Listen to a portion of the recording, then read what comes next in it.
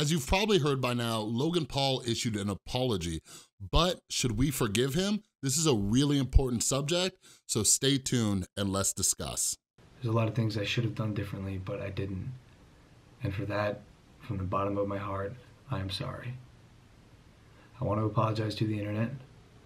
I want to apologize to anyone who's seen the video. I want to apologize to anyone who has been affected or touched by mental illness or depression or suicide.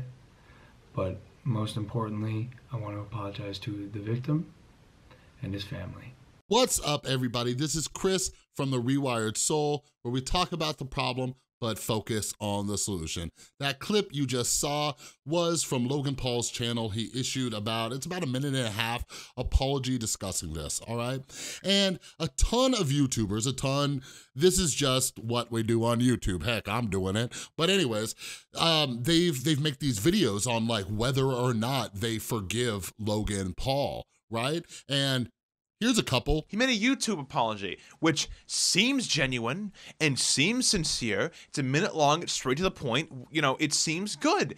But then you realize that apology completely contradicts his Twitter one. That is it for this video. Thanks so much for watching. I do not forgive Logan Paul one bit.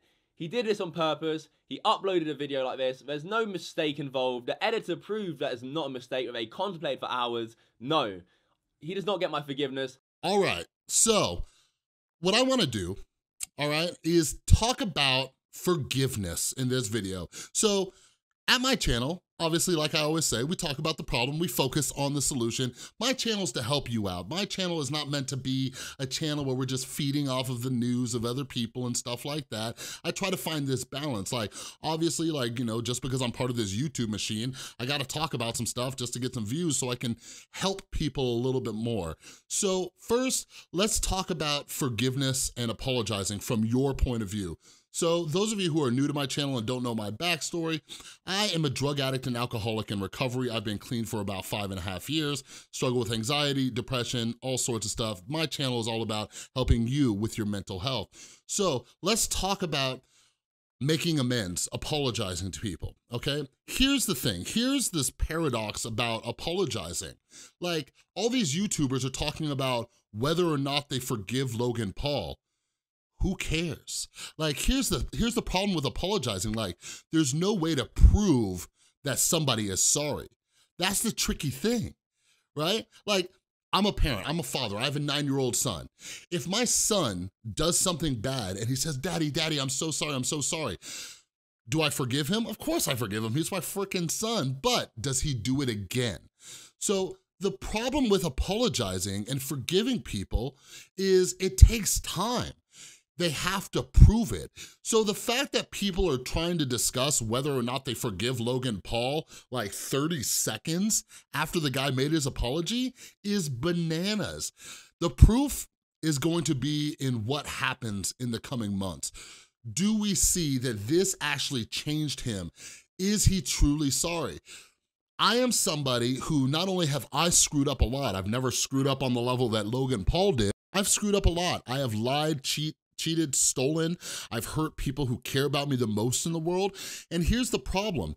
I apologize to them constantly, constantly. And I kept apologizing to them and just kept doing the same thing over and over and over again. So for those of you who don't know, I work at a drug and alcohol rehab center with clients and a lot of them struggle with like, my family doesn't trust me, my family doesn't trust me, my family doesn't trust me. And I'm like, well, no, duh. Like something I had to realize is I gave my family a reason not to trust me right? And the only way that they're gonna start trusting me again or truly believe that I am sorry for what I've done is by seeing a change in my behaviors. So this is what I'm trying to help you with. If you're wondering why people don't forgive you, it's because your actions speak louder than your words. Sorries, apologies, making amends, none of these things mean anything. They don't mean anything at all. They're just words. It's the actions. So something that we talk about in the realm of recovery is something called a living amends. The living amends that I make to my son, to my family, to my friends, the living amends that I make is by becoming a better person every single day. They see through my actions, not just my words, but through my actions that I am working very hard on becoming a better person. For example, I work nine, ten hours a day, every day, and then I come home and I make YouTube videos to help people like you overcome struggles with your mental illness, right? I'm doing things, I am putting good energy back out into the world. I'm trying to become a better person. That is how people see that I have changed. So my suggestion is when it comes to apologies and things like that, let's watch Logan Paul over the coming months and see how he changes. Only then can we look back at this situation and say, oh, okay, I do forgive him.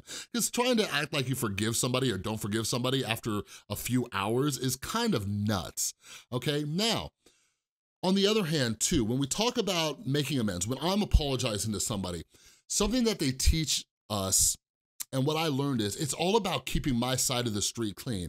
When I was going through the amends process and apologizing to people, check out the info card above, by the way. I have a video on how to forgive yourself. This is all about keeping my side of the street clean because Logan Paul is going through this right now. Like, when I screw up, when I screw up and I go and I apologize, I have to lower my expectations and be 100% prepared for people to tell me to go screw myself because that happens. It's not about whether or not this person forgives me. It's about can I go to sleep tonight with a clear conscience? That's kind of my goal. If any of you want a North Star every single day that you wake up, say, I wanna act in a way today that will allow me to go to sleep tonight without feeling guilty about who I have harmed. Because the more I do that, the more I forgive myself. Because you're gonna have people who don't forgive you and anything like that, but are you good with you? Do you believe on a day-to-day -day basis that you are being a good person? Because when you do that, then other people's opinions of you don't matter. It's all about if you are good for yourself, all right? So the last thing I'll touch on is forgiveness. Title of this video, like, should we forgive Logan Paul, right? And I talked about this in another video, which I will link above, when I talked about how Shane Dawson forgave his father, his father who walked out on him in his life. And the best advice that I can give you, watch that video if you want a more in-depth look at this, but we get it twisted. Forgiving somebody isn't letting somebody else off the hook. Forgiving people is letting ourselves off the hook. Those clips I showed you of other YouTubers saying, no, I don't forgive Logan Paul, like, who cares? Like, the human mind works in a way where hatred, disgust, you know, just general annoyance with other human beings, all that does is breed more hatred within you, right? But when I'm able to breed love and compassion and kindness, it grows more love, compassion, and kindness towards the world. Like, if any of you ever get the, the opportunity to meet me, because I'm amazing, that was a joke, calm down, but you'll see that I'm a genuinely happy guy. I'm a happy guy, and one of the reasons, one of the reasons why I'm so happy all the time is because I do not hold grudges. I lower my expectations of people. I understand that people's people are fallible, and I understand that a lot of people are very sick and often in ways that they don't even understand. So what I do as a kindness to myself is that I forgive them because it lets me off the hook, all right? But anyways, anyways, if you like this video, please give it a thumbs up. But I would love to know what you think down in the comments below. What do you think about this whole subject about forgiving Logan Paul?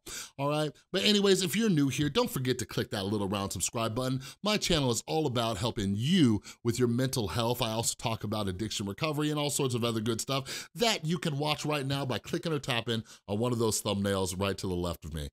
Thanks so much for watching. I'll see you next time.